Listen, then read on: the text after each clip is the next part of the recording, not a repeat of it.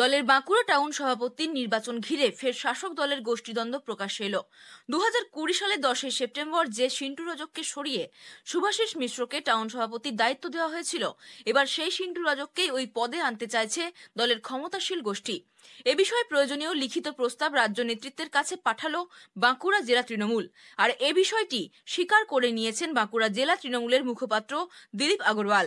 বৃহস্পতিবার সাংবাদিকদের প্রশ্নের উত্তরে তিনি বলেন না, দল থেকে কেউ ছিটকোয়নি সবাইকার একটা অভিমান ছিল, সিন্ধু রজক দীর্ঘদিন ধরে আমাদের দলের একজন সেনাপতি এবং হঠাৎ আমরা জানতে পারি কিছুদিন আগে বাঁকুড়া শহর একজন যে সভাপতি করা হয়েছিল সেও একজন দলের কর্মী ঠিকই।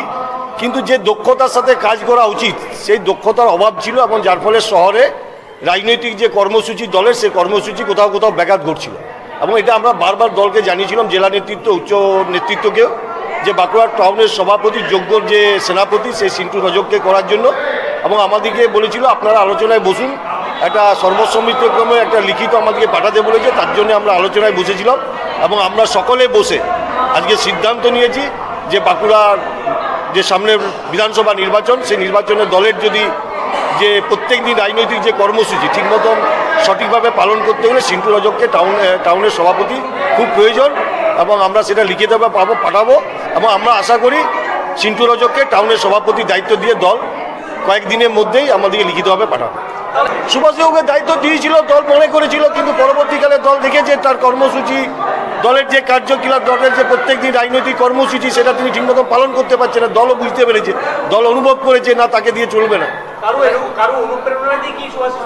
না না দেখুন কারও অনুপ্রেরণা নয় দল ভেবেছিল কেউ বলেছিল দল মনে করেছিল তাকে পরবর্তীকাল দল ভেবেছে যে উনি যোগ্য নন তার জন্য আমাদেরকে বলেছে আমরা একটা নাম পাঠাচ্ছি আবার সিন্টু রজক আগে ছিল। তিনি যোগ্য তার নাম আমরা পাঠাচ্ছি এবং দল অনুমোদন করবে আমাদের দৃঢ় বিশ্বাস। যাকে সরানো নিয়ে তোড়জোড় সেই বর্তমান বাঁকুড়া জেলা টাউন সভাপতি সুভাষিস মিশ্র এই বিষয়ে এদিন বিস্ফোরক মন্তব্য করেন। আমি কাজ করতে পারছি কিন্তু ওনারা আমার সাথে কাজ করতে পারছে না। দীর্ঘদিন ধরে কাশীবাবুর আমল থেকে সিন্টু রজক ওই জায়গায় বসে আছে। তো সিন্টু রজক আজকে বিধানসভা লোকসভা ভোটেও ব্যাক আর আগামী বিধানসভা মিনতি মিশ্রকে হারিয়েছে। তো ও যদি মনে করে, কিছু আমাদের ওয়ার্ড সভাপতি ওনারা আছে, তো ওরা মনে করছে যে আমার সিন্টু রজকে আমাদেরকে সভাপতি করা হোক, আর আমরাই থাকব, নতুন কোনো মুখ আমাদের আনার দরকার নেই। এটা একটা ইগোর লড়াই আর কি, আর কিছু না। আমি প্রত্যেকটা মিটিংয়ে ওদিকে ডাকি, কিছু কিছু সভাপতি আসে কিছু কিছু ওয়ার্ডের সভাপতি, দু চারটা ওয়ার্ডের সভাপতি, সিন্টু রজকের দীর্ঘদিনের সভাপতি, সেগুলো গঁ ধরে বসে আছে, যে আমরা সিন্টু রজককেই চাই, সিন্টু রজক ছাড়া আমরা কাজ করতে পারব না।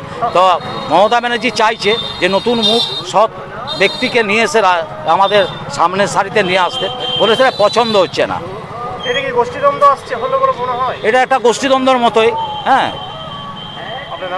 একটা যখন তখন নিয়ে এসে ক্লাব ঘরের মতন বসে তৃণমূল ভবনে করে নিলাম। এটা তো একটা সরকারি পোস্ট তো এটা তো এইভাবে তো হয় না। এটা তো ক্লাবগণ আজকে ওকে সেক্রেটারি করলাম ওকে প্রেসিডেন্ট করলাম এটা তো হয় না। আমি সম্পা এই সম্পাদরিপার সঙ্গে থাকি বলে ওদের মনে হয় যে সম্পাদরিপার সঙ্গে আছে হ্যাঁ। মনে হচ্ছে আর কি এরকম একটা গোষ্ঠীদ্বন্দ্ব জায়গাতেও আসতে চাইছে। মানে আর একটা গোষ্ঠী মানে কি ওইটা সেই কাশীবাবুর আমল থেকে সিন্টু রজক বসে আছে মহাপ্রসাদ তো আজকে ধরো মহাপ্রসাদকে সরিয়ে দিয়েছিল। আজকে অলকা সেন মজুমদার বসে আছে। আজকে অরূপ খাপকে সরিয়ে দিয়ে সুভাষিস বটব্বেলকে আনা হয়েছে। সুভাষিস বটলকে শ্যামল সাদরা আনা হয়েছে। মানুষ মমতা ব্যানার্জি যাকে দিবে তাকে নিয়ে দল চালাতে হবে। পুরো বিষয়টি তৃণমূলের নতুন কিছু নয় দাবি বিজেপির। দলের নেতা নীলাদ্রি শেখর দানা বলেন এটা আজকে নতুন কিছু নয় তৃণমূলের ক্ষেত্রে। এটা অভ্যস্ত। নির্বাচন যত ঘনিয়ে আসবে দেখুন এদের গো- গোষ্ঠীকন্দল মাথা চাড়া দেবে।